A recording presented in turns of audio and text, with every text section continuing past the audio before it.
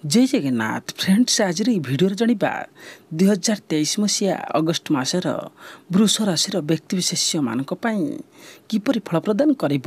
ସେମାନଙ୍କର ଶିକ୍ଷା କ୍ଷେତ୍ର ପାରିବାରିକ ଜୀବନ ଦାମ୍ପତ୍ୟ ଜୀବନ କ୍ୟାରିୟର କ୍ଷେତ୍ର ଏବଂ ସ୍ୱାସ୍ଥ୍ୟ ବିଷୟରେ ଆମେ ଜାଣିବା। ଆର୍ଥିକ କ୍ଷେତ୍ରରେ କିପରି ଫଳ ପ୍ରଦାନ କରିବ? ତାହା ସହ ଜାଣିବା କ'ଣ ରହିଛି ଆପଣଙ୍କ ପାଇଁ ପ୍ରତିକାରକ ଭିଡ଼ିଓ ଶେଷରେ? ତ ଭିଡ଼ିଓକୁ ଶେଷ ପର୍ଯ୍ୟନ୍ତ ନିଶ୍ଚୟ ଦେଖନ୍ତୁ। ଯଦି ନୂଆ କରି ଆସିଛନ୍ତି ଆମ ଚ୍ୟାନେଲକୁ ଚ୍ୟାନେଲକୁ ସବସ୍କ୍ରାଇବ୍ ନିହାତି ଭାବରେ କରିନିଅନ୍ତୁ ଯାହାଫଳରେ ଆମର ଅପଲୋଡ଼ ହେଉଥିବା ନୂତନ ଭିଡ଼ିଓର ନୋଟିଫିକେସନ୍ ଆପଣମାନେ ସର୍ବପ୍ରଥମେ ପାଇପାରିବେ। ତେବେ ଚାଲନ୍ତୁ ଫ୍ରେଣ୍ଡସ୍ ଅଗଷ୍ଟ ମାସର ମାସିକ ରାଶିଫଳ ବିଷୟରେ ଜାଣିବା। ବୃଷ ରାଶିର ବ୍ୟକ୍ତିବିଶେଷମାନଙ୍କ ପାଇଁ କିପରି ଫଳ ପ୍ରଦାନ କରିବ? ତେବେ ପ୍ରଥମେ ଜାଣିବା ଅଗଷ୍ଟ ମାସର ବୃଷ ରାଶିର ବ୍ୟକ୍ତିବିଶେଷମାନଙ୍କ ପାଇଁ ଶିକ୍ଷା କ୍ଷେତ୍ର ବିଷୟରେ। ଯେଉଁମାନେ ବିଦ୍ୟାଳୟରେ ଅଛନ୍ତି ତେବେ ଏହି ମାସରେ ଆପଣଙ୍କ ସହପାଠୀମାନଙ୍କ ତରଫରୁ ଆପଣଙ୍କୁ ଥଟ୍ଟା କିମ୍ବା ଅପମାନିତ କରିବାର ପ୍ରୟାସ ହୋଇପାରେ। ବିଦ୍ୟାଳୟରେ ପଢ଼ୁଥିବା ଅନ୍ୟ ବିଦ୍ୟାର୍ଥୀମାନେ ଆପଣଙ୍କର ଥଟ୍ଟା ମଜାକ କରିପାରନ୍ତି। ଏପରି ପରିସ୍ଥିତିରେ ଆପଣଙ୍କ ପଥରୁ ଦ୍ୱନ୍ଦ୍ୱରେ ରୁହନ୍ତୁ ନାହିଁ। ଆହୁରି ମଧ୍ୟ ଆପଣଙ୍କର ଅଧ୍ୟୟନ ପ୍ରତି ବିଶେଷ ଧ୍ୟାନ ଦିଅନ୍ତୁ ଏବଂ କାହା ସହିତ ଯୁକ୍ତିତର୍କରୁ ସମ୍ପୂର୍ଣ୍ଣ ଭାବରେ ଦୂରେଇ ରୁହନ୍ତୁ। ଉଚ୍ଚଶିକ୍ଷା ଅନୁସରଣ କରୁଥିବା ଛାତ୍ରଛାତ୍ରୀମାନେ ନିଜ ପାଇଁ ନୂତନ ବିଷୟ ବାଛିବେ ଏବଂ ସେମାନଙ୍କ ଉପରେ ଅନୁସନ୍ଧାନର କରିବେ। ଯାହା ସେମାନଙ୍କର ଜ୍ଞାନକୁ ବୃଦ୍ଧି କରିବ। ଯଦି ଆପଣ ଏକ ସରକାରୀ ପରୀକ୍ଷା ପାଇଁ ପ୍ରସ୍ତୁତ ହେଉଛନ୍ତି ତେବେ ଏହି ମାସରେ ଆପଣ ଆପଣଙ୍କର ପ୍ରସ୍ତୁତିରେ ଅସନ୍ତୁଷ୍ଟ ହୋଇପାରନ୍ତି ଏବଂ ଚାପର ଶିକାର ମଧ୍ୟ ହୋଇପାରନ୍ତି। ଏହି କ୍ଷେତ୍ରରେ ଆପଣଙ୍କ ଶିକ୍ଷକମାନଙ୍କ ଠାରୁ ଉପଯୁକ୍ତ ପରାମର୍ଶ ନେବା ଆବଶ୍ୟକ ଅଟେ।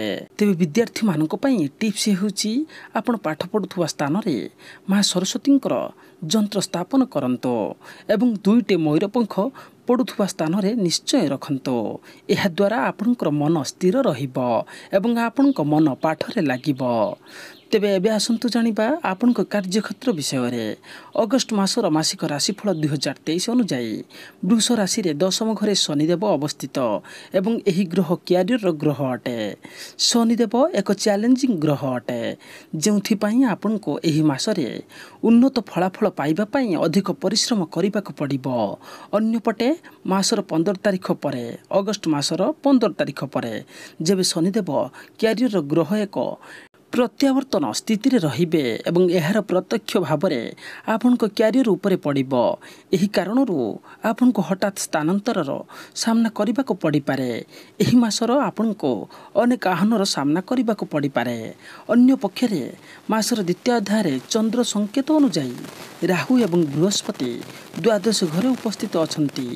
ଯେଉଁଥିପାଇଁ ଆପଣ ପୁରସ୍କାର ପାଇବାରେ ବିଳମ୍ବର ସମ୍ମୁଖୀନ ହୋଇପାରନ୍ତି। ଶନିଦେବ ଦଶମ ଘରେ ଉପସ୍ଥିତ ଥିବାବେଳେ ଏହା ସହିତ ପଞ୍ଚମ ଘରର ପ୍ରଭୁ ବୁଧ ପ୍ରଥମ ଘରେ ଉପସ୍ଥିତ। ଏହାର ଅନୁକୂଳ ପ୍ରଭାବ ସହିତ ଆପଣ ନିଜ କ୍ୟାରିୟରରେ କିଛି ଲାଭ ପାଇପାରିବେ। ଏହି ମାସରେ ଆପଣ ନିଜ ଉପରେ ଅଧିକ କାର୍ଯ୍ୟ ଚାପ ଅନୁଭବ କରିପାରିବେ। କାର୍ଯ୍ୟ ଆପଣଙ୍କ ପାଇଁ ଚ୍ୟାଲେଞ୍ଜ ହେବ। ସଫଳ ହେବା ପାଇଁ ଆପଣଙ୍କୁ ସଠିକ୍ ଯୋଜନା କରିବାକୁ ଆବଶ୍ୟକ ଅଟେ। ବୃହସ୍ପତି ଏବଂ ରାହୁ ଦ୍ୱାଦଶ ଘରେ ଥିବାରୁ ବ୍ୟବସାୟୀମାନେ ଏହି ମାସରେ ସାଧାରଣ ଅପେକ୍ଷା ଅଧିକ ଲାଭ ପାଇବାର ସମ୍ଭାବନା ରହିଛି। ସେହିପରି ଅଗଷ୍ଟ ମାସିକ ରାଶିଫଳ ଦୁଇହଜାର ତେଇଶ ଅନୁଯାୟୀ ବୃଷ ରାଶିର ବ୍ୟକ୍ତିଙ୍କ ପାଇଁ ଆର୍ଥିକ କ୍ଷେତ୍ରରେ ଆପଣ ଆର୍ଥିକ ଅସୁବିଧାର ସମ୍ମୁଖୀନ ହୋଇପାରନ୍ତି। ରାହୁ ଏବଂ ବୃହସ୍ପତି ଦ୍ୱାଦଶ ଘରେ ଏକାଠି ଥିବାରୁ ଆପଣଙ୍କୁ ଟିକେ ଅଧିକ ଟଙ୍କା ଖର୍ଚ୍ଚ କରିବାକୁ ପଡ଼ିପାରେ। ବୃଷ ରାଶିର ଶୁକ୍ର ଏକ ଦୁର୍ବଳ ସ୍ଥିତିରେ ରହିବେ। ଯେଉଁଥିପାଇଁ ଆପଣ ମଧ୍ୟ କ୍ଷତି ସହିବାର ସମ୍ଭାବନା ରହିଛି। ଏହା ବ୍ୟତୀତ ଦ୍ୱିତୀୟ ଘରର ମାଲିକ ବୁଧ। ଏହାର ପ୍ରତିକୂଳ ପ୍ରଭାବ ହେତୁ ଆପଣଙ୍କ ଟଙ୍କା ନଷ୍ଟ ହେବାର ସମ୍ଭାବନା ଅଛି। ଅର୍ଥାତ୍ ଅଯଥା ଖର୍ଚ୍ଚ ହୋଇପାରେ। ବ୍ୟବସାୟରେ ରହୁଥିବା ବ୍ୟକ୍ତି ବଡ଼ ଲାଭ କରିବାର ସମ୍ଭାବନା ରହିଛି ଏବଂ ଆପଣଙ୍କ ପ୍ରତିଦ୍ୱନ୍ଦ୍ୱୀମାନଙ୍କ ଠାରୁ କଠୋର ପ୍ରତିଯୋଗିତାର ସମ୍ମୁଖୀନ ହେବାର ସମ୍ଭାବନା ମଧ୍ୟ ରହିଛି। ଯେଉଁମାନେ ପାର୍ଟନରସିପ୍ରେ ବ୍ୟବସାୟ କରୁଛନ୍ତି ତ ଦୁହିଁଙ୍କ ମଧ୍ୟରେ ସମର୍ଥନ ଅଭାବରୁ ଏବଂ ସଠିକ୍ ଯୋଜନା ନ କରିବା ହେତୁ ଆପଣଙ୍କୁ କ୍ଷତି ସହିବାକୁ ପଡ଼ିପାରେ। ଏହି ମାସରେ ବଡ଼ ଟଙ୍କା ରୋଜଗାର କରିବା ଆପଣଙ୍କ ପାଇଁ ସହଜ ହେବ ନାହିଁ। ସେହିପରି ପ୍ରେମ ଏବଂ ବୈବାହିକ ଜୀବନ ଦୃଷ୍ଟିରୁ ଅଗଷ୍ଟ ମାସଟି ପ୍ରେମ କରୁଥିବା ବ୍ୟକ୍ତିଙ୍କ ପାଇଁ ଏହି ମାସ ବିଶେଷ ଭଲ ହେବାର ସମ୍ଭାବନା ନାହିଁ। ଏହି ମାସରେ ପ୍ରେମର ବାସ୍ତବତା ନ ହେବାର ଏକ ସମ୍ଭାବନା ରହିଛି। ଆପଣଙ୍କ ଦୁହିଁଙ୍କ ମଧ୍ୟରେ ବୁଝାମଣାର ଅଭାବ ହୋଇପାରେ। ଏହି ସମୟରେ ଆପଣ ବିବାହ ପ୍ରସଙ୍ଗରେ ସଫଳତା ହାସଲ କରିପାରେ ଅସୁବିଧାର ସମ୍ମୁଖୀନ ହୋଇପାରନ୍ତି। ଶୁକ୍ର ଯାହାକି ପ୍ରେମ ଗ୍ରହ ଅଟେ ଏହି ମାସରେ ଏକ ଦୁର୍ବଳ ସ୍ଥିତିରେ ରହିବେ। ଯେଉଁ କାରଣରୁ ପ୍ରେମ ସମ୍ପର୍କରେ ଥିବା ଲୋକଙ୍କ ପାଇଁ ଏହି ମାସ ବିଶେଷ ଭଲ ହେବ ନାହିଁ। ଏହା ସହିତ ଯେଉଁମାନେ ବିବାହ କରିବାକୁ ଯୋଜନା କରୁଛନ୍ତି ସେମାନଙ୍କ ପାଇଁ ଅଧିକ ସକାରାତ୍ମକ ଫଳାଫଳ ପାଇବା କଷ୍ଟକର ହୋଇପାରେ। ଦ୍ୱାଦଶ ଘରେ ରାହୁ ଏବଂ ବୃହସ୍ପତିଙ୍କ ଉପସ୍ଥିତି ଯୋଗୁଁ ବୃଷ ରାଶିର ବ୍ୟକ୍ତିଙ୍କ ପ୍ରେମ ସମ୍ପର୍କରେ ସୁଖର ଅଭାବ ହେବାର ସମ୍ଭାବନା ରହିଛି। ଅନ୍ୟପକ୍ଷରେ ବିବାହ ଦୃଷ୍ଟିରୁ ଏହି ମାସ ଆପଣଙ୍କ ପାଇଁ ଅତ୍ୟନ୍ତ ଲାଭଦାୟକ ହେବ ନାହିଁ। ବିବାହିତା ଲୋକମାନଙ୍କ ପାଇଁ ମଧ୍ୟ ଏହି ମାସ ଅତ୍ୟନ୍ତ ସ୍ୱତନ୍ତ୍ର ପ୍ରମାଣିତ ହେବ ନାହିଁ। ଯାହାକି ଆପଣଙ୍କ ପାଇଁ ମଧ୍ୟମ ଧରଣର ମଧ୍ୟ ରହିବ ଏବଂ ସେମାନଙ୍କ ଜୀବନରେ ସୁଖର ଅଭାବ ଦେଖାଦେବ। ପରସ୍ପରକୁ ଭଲ ଭାବରେ ସୁସଙ୍ଗତ କରିବା ପାଇଁ ଆପଣଙ୍କୁ ସମନ୍ୱୟ କରିବାକୁ ପଡ଼ିବ। ସେହିପରି ପାରିବାରିକ ଜୀବନ ଦୃଷ୍ଟିରୁ ଦ୍ୱାଦଶ ଘରେ ରାହୁ ଏବଂ ବୃହସ୍ପତିଙ୍କ ଉପସ୍ଥିତି ଯୋଗୁଁ ବୃଷ ରାଶିର ଲୋକଙ୍କୁ ପରିବାରରେ କିଛି ସମସ୍ୟାର ସମ୍ମୁଖୀନ ହେବାକୁ ପଡ଼ିପାରେ। ଦ୍ୱିତୀୟ ଘରର ମାଲିକ ବୁଧ ମାସ ଶେଷରେ ପ୍ରତ୍ୟାବର୍ତ୍ତନ କରିବେ। ଯେଉଁ କାରଣରୁ ଆପଣ ପରିବାରରେ କିଛି ସମସ୍ୟାର ସମ୍ମୁଖୀନ ହୋଇପାରନ୍ତି। ପରିବାରର ସଦସ୍ୟଙ୍କ ମଧ୍ୟରେ ବିତର୍କ ହେବାର ସମ୍ଭାବନା ରହିଛି। ଯେଉଁଥିପାଇଁ ଘରର ପରିବେଶ ଖରାପ ହେବ। ପରିବାର ସଦସ୍ୟଙ୍କୁ ଅନେକ ପରିବର୍ତ୍ତନ କରିବାକୁ ପଡ଼ିବ ଯାହାଫଳରେ ଘରେ ସୁଖର ବାତାବରଣ ରହିଥାଏ। ଅବାଞ୍ଛିତ ବିବାଦ ହେତୁ ପରିବାରରେ ସମନ୍ୱୟର ଅଭାବ ହେବାର ସମ୍ଭାବନା ରହିଛି। ଦ୍ୱିତୀୟ ଗୃହରେ ମାଲିକ ବୁଧ ଚତୁର୍ଥ ଘରେ ଉପସ୍ଥିତ ଅଛନ୍ତି। ତେଣୁ ପରିବାରର ସଦସ୍ୟଙ୍କୁ ସେମାନଙ୍କର ଦାୟିତ୍ୱ ସଠିକ୍ ଭାବରେ ପୂରଣ କରିବାକୁ ପଡ଼ିବ। ସେହିପରି ଅଗଷ୍ଟ ମାସିକ ରାଶିଫଳ ଦୁଇହଜାର ତେଇଶ ଅନୁଯାୟୀ ଅଗଷ୍ଟ ମାସ ବୃଷ ରାଶିର ଲୋକଙ୍କ ପାଇଁ ସ୍ୱାସ୍ଥ୍ୟ ଦୃଷ୍ଟିରୁ ମିଶ୍ରିତ ଫଳାଫଳ ଆଣିବ। ରାହୁ ଏବଂ ବୃହସ୍ପତି ଦ୍ୱାଦଶ ଘରେ ଉପସ୍ଥିତ ଅଛନ୍ତି।